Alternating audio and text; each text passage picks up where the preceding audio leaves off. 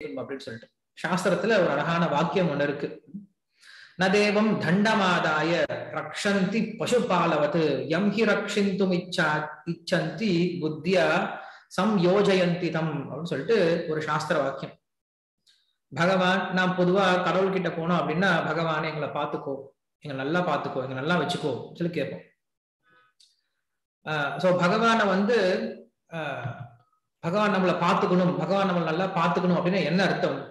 அப்படின்னா பாத்துக்கிறது அப்படின்னா இப்ப ஒரு ஆட்டுக்காரன் என்ன பண்றான்? தன்னுடைய ஆடு ஆட்டுக்குட்டி என்ன பண்றான் அப்படின்னா ஒரு கொட்டிக்குள்ள போட்டு அடைச்சு வச்சு பாத்துக்கிறான் ஒரு மாட்டுக்காரன் என்ன பண்றான் அப்படின்னா மாட்டை தன்னுடைய தொழுவத்துல அடைச்சு வச்சு பாத்துக்கிறான் சோ அது போல நம்மள பகவான் பார்த்துப்பாரா அப்படின்னா அப்படி பாத்துக்க மாட்டாரா நம்மள ஏதோ அடைச்சு வச்சுட்டு ஒரு ஜெயில அடைச்சு வச்சுட்டு எப்படி ஒருத்தருக்கு தேவையான சோறு எல்லாம் போட்டுட்டு பாத்துக்கிறோமோ அது போல பகவான் நம்மள பாத்துக்கிறது கிடையாது. உண்மையாலுமே நமக்கு பகவான் துணை நிற்கிறார். உண்மையாலுமே நம்மள பகவான் வந்து அருள் பாலிக்க ஆரம்பிக்கிறார். உண்மையாலுமே நமக்கு பகவான் பாதுகாப்பு கொடுக்க ஆரம்பிக்கிறார் அப்படின்னா அதற்கு அர்த்தம் என்ன சொல்லி சொல்றாரு.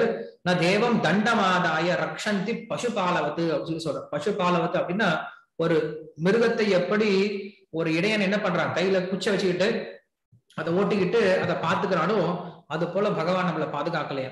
பகவான் எப்படி அப்படின்னா எம்ஹி ரக்ஷிது இச்சந்தி பகவான் நம்மளை பாதுகாக்கணும் அப்படின்னு முடிவு பண்ணிட்டார் அப்படின்னா நமக்கு என்ன செய்யறார் அப்படின்னு சொல்லி கேட்கும் போது புத்தியா சம் யோஜயந்திதம் அப்படின்னு சொல்லி சொல்ற நமக்கு நல்ல புத்தியை கொடுக்கிறாரா? அந்த நல்ல புத்தியை கொடுக்கக்கூடிய சத் சங்கத்துல கொண்டு போய் விடுறாரு. சோ பகவான் நமக்கு உண்மையாலுமே நல்லது பண்றாரு அப்படின்னா என்ன அர்த்தம்? நம்மளை கொண்டு வந்து சத் சங்கத்துல விட்டு நமக்கு நல்ல புத்தியை கொடுத்தாரு அப்படின்னா அதுதான் பகவான் நம்மளை உண்மையாலுமே பாத்துக்கிறார் அப்படின்னு அர்த்தம். சோ அப்படி இன்னைக்கு நாம் எல்லாருமே இந்த சத் சங்கத்துல ஒன்று கூடி இருக்கும் ஆன்லைன்ல இருந்தாலும் நம்ம எல்லாரும் என்ன பண்ண போறோம் அப்படின்னா பாகவதம் கேட்க போறோம். இந்த பாகவதம் அப்படிங்கிறதே பெரிய சத் சங்கம் இதுதான் பகவானுடைய உண்மையான கிருப்பை பகவான் நிறைய பேருக்கு நிறைய விஷயங்களை கொடுக்கலாம். ஆனா இந்த பாகவதம் கேட்கக்கூடிய இந்த ஒரு பாக்கியத்தை எல்லாருக்கும் கொடுக்கறது கிடையாதான் தன்னுடைய மனசுல வச்சிட்டு இருக்காரா? யார் ஒருத்தன் தனக்கு ரொம்ப நெருங்கியவனோ யார் ஒருத்தன் நான் பர்சனலா பார்த்துக்கணும்னு நினைக்கிறனோ அவனுக்கு இந்த பாகவதத்தை கொடுக்குறேன் சொல்லி சொல்றேன் ஏன்னா பாகவதம் அப்படிங்கிறது அவ்வளவு எளிமையாக கிடைப்பது கிடையாது சொல்லி சொல்றாரு. இந்த பாகவத சொல்லும் போது கோட்டி சமுத்தேன புண்ணியன இவ அப்படின்னு சொல்லி சொல்றாரு. அதாவது பல கோடி ஜென்மங்கள் நாம் புண்ணியம் செஞ்சாலும் இந்த பாகவதம் அப்படிங்கிறது ஒருத்தர் கிடைக்காது. ஸ்ரீமத் பாகவதி வார்த்தா சுரானாம் அப்படி துர்லபா அப்படின்னு சொல்றாரு. இந்த பாகவத வார்த்தை அப்படிங்கிறது சுரர்கள் அப்படின்னு சொல்லக்கூடிய தேவர்கள் கூட இந்த பாகவதம் கிடைக்காதான். தேவர்கள் எல்லாம் தன்னுடைய கையில அமிர்தத்தை வச்சு நின்றுட்டு இருக்காங்களாம். எங்களுக்கு பாகவத்தை மட்டும் கொடுங்க. இந்த அமிர்தத்தை நீங்க வச்சுக்கோங்க அப்படின்னு சொல்லிட்டு. பக்தர்கள் அந்த தேவர்களை புறக்கணிச்சிடுறாங்களே எங்களுக்கு இந்த அமிர்தம் தேவையில்லை.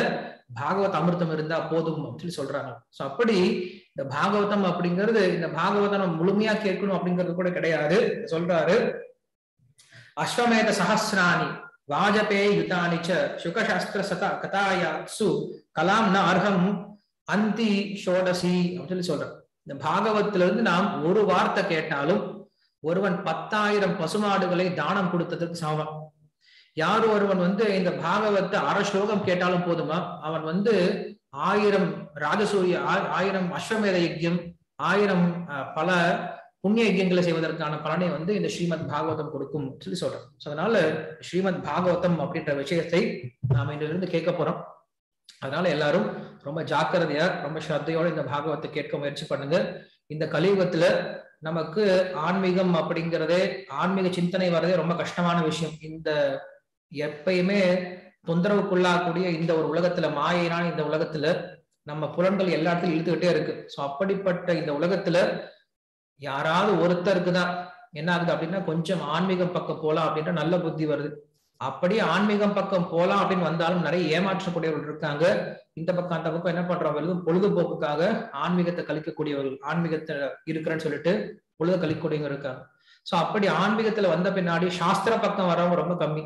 அந்த சாஸ்திரத்திலே வந்தாலும் பாகவதம் அப்படின்ற எல்லா சாஸ்திரத்துடைய சாரமா இருக்கக்கூடிய இந்த புராணத்துக்கு வர்றது ரொம்ப ரொம்ப கஷ்டம். சோ அப்படி நம்ம எல்லாரும் இங்க புராணத்துக்கு வந்திருக்கோம். பாகவத்தை கேட்க வந்திருக்கோம். அதனால இந்த பாகவதம் அப்படிங்கிறது தான் எல்லா வேதத்தினுடைய சாரமாக சொல்லப்படுது. அதனாலதான் முதல்ல பாகவத்தை ஆரம்பிக்கும் போது வியாசதேவர் சொல்றாரு நிகம கல்பதரோர் கலிதம் பலம் அப்படின்னு சொல்லி சொல்றாரு. வேதத்தை ஒரு மரமாக உருவெடுத்து அந்த மரத்திலிருந்து எடுக்கக்கூடிய கனிந்த பலம் தான் ஸ்ரீமத் பாகவதம் அப்படின்னு சொல்றார். சோ அப்படிப்பட்ட பாகவத்தை நாம் இங்க தினசரி கேட்க முயற்சி பண்ணலாம். அதுல நான்